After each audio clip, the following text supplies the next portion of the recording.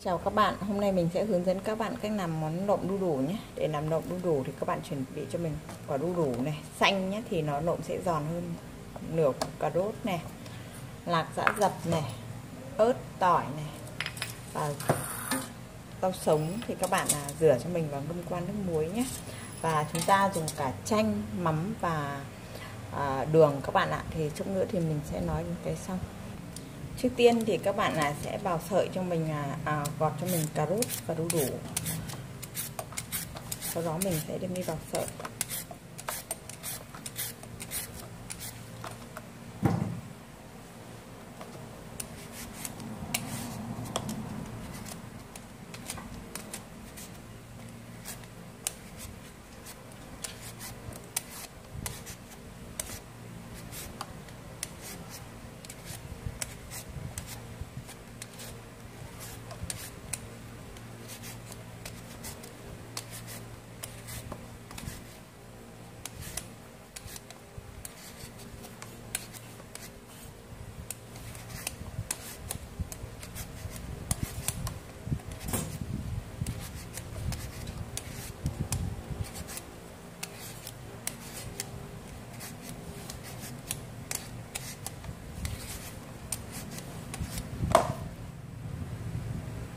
Đây các bạn, khi chúng ta xong rồi nhé Các bạn rửa sạch cho mình đi và mình sẽ bào sợi vào một bát nước nước nhé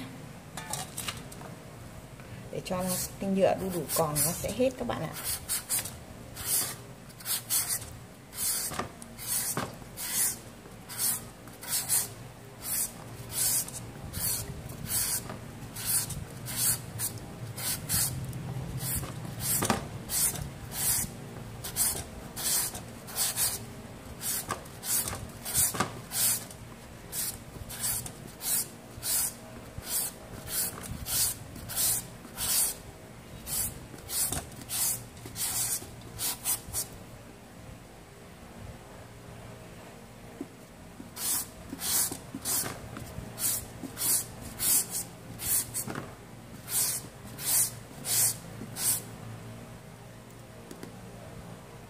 Đây các bạn các bạn là bào xong và mình ngâm trong này độ 10 đến 15 phút các bạn nhé.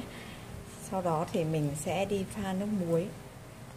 Cà rốt thì các bạn cũng bào sợi ra cho mình giống đủ nhé.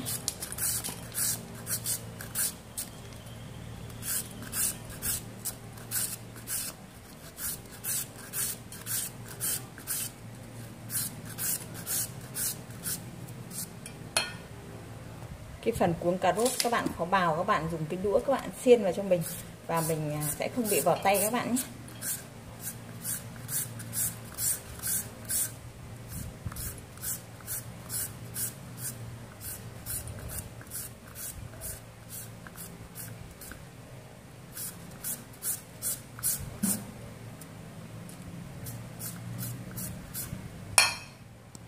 Giờ các bạn vớt cho mình à, cái đu đủ này ra các bạn nhé.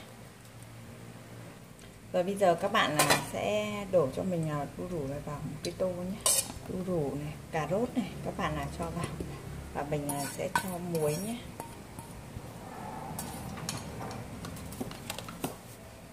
Các bạn cho mình khoảng một thìa muối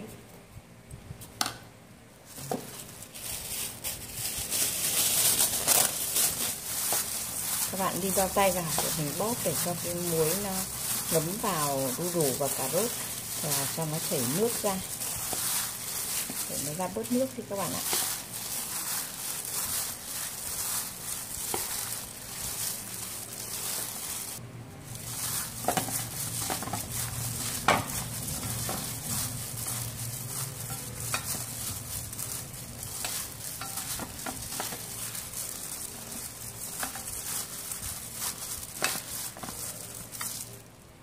Đây các bạn sau khi mình bóp nhé thì à, cà rốt và đu đủ nó ra nước như thế này.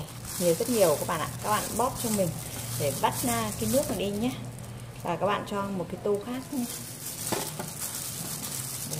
Mình cho muối vào mình bóp ấy nó ra rất nhiều nước các bạn ạ. Rồi các bạn lại trở cho trở lại cái tô vừa lạnh nhé.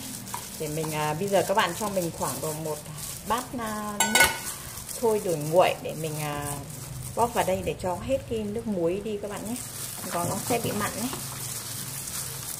các bạn bóp vào mình lại, bóp lại à, đi cho hết cái à, vị mặn của muối khi chúng ta vừa làm vừa nãy đấy.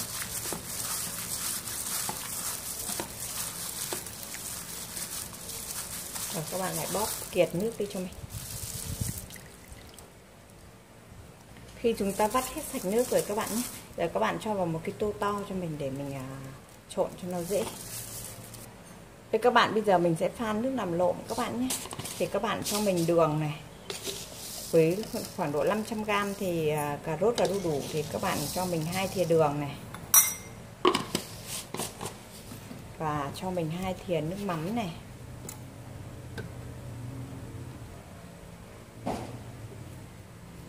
Hai thìa nước mắm thôi các bạn nhé. Còn đây mình đổ trào một ít, bây giờ mình sẽ cho thìa này vơi. Và nước sôi nữa. Các bạn cho mình độ một bát con này nước sôi nguội các bạn nhé. Thì mình làm lộn nên các bạn phải làm sạch sẽ thì mình ăn nó mới đảm bảo. Các bạn hòa tan hỗn hợp này lên cho mình. Sau đó thì các bạn à, vắt cho mình à, cốt chanh các bạn nhé.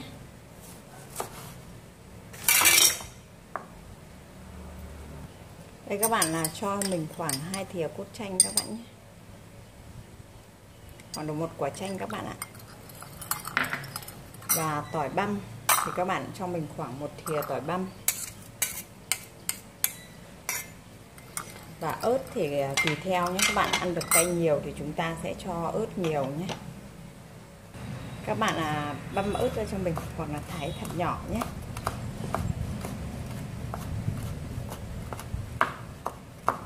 Mình chỉ ăn cay vừa nên là mình chỉ cần cho một quả ớt chỉ thiên này cũng đã rất cay rồi. Bạn nào ăn nhiều hơn thì các bạn có thể cho nhiều hơn ớt nhé. Đây các bạn à nước nộm của chúng ta đã xong rồi nhé. Thì bây giờ các bạn à, sẽ trộn vào đây cho mình.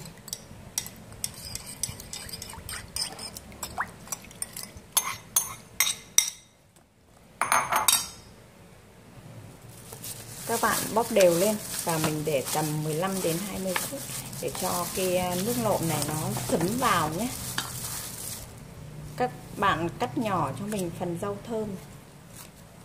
Vào thì để mình trộn cho nó thơm nhé.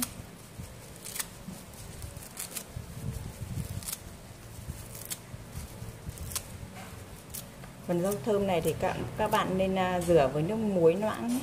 Thì nó sẽ tốt hơn và bây giờ mình cũng trộn đều cái phần rau thơm này lên.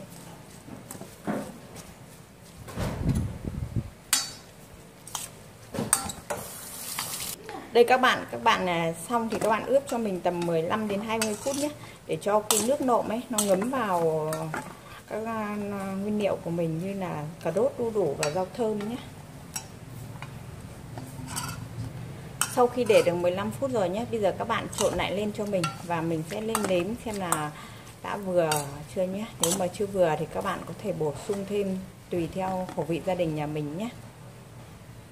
Vì nhiều lúc nguyên liệu của chúng ta không chuẩn nhé. Như mình ăn như thế này là vừa rồi các bạn ạ.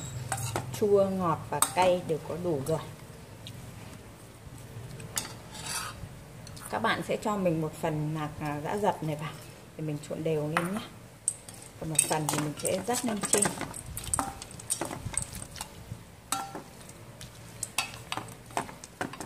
Các bạn chuẩn bị một cái tô à, một cái đĩa cho mình để mình cho ra. Các bạn có thể cho luôn phần nước lộm này vào luôn các bạn để cho khi mình ăn ấy nó không bị khô nhiều lúc chúng ta chưa chắc đã ăn luôn ấy. các bạn là rắc cho mình nạc vào.